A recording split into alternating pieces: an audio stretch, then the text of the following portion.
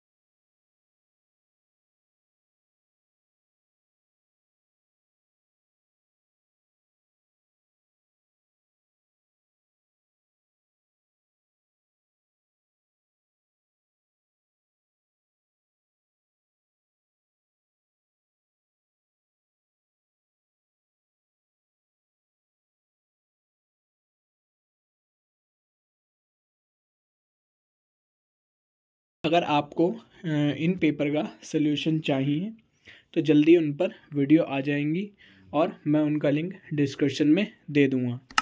तो जब तक आप हमारे चैनल को सब्सक्राइब करें, मिलते हैं नेक्स्ट वीडियो में।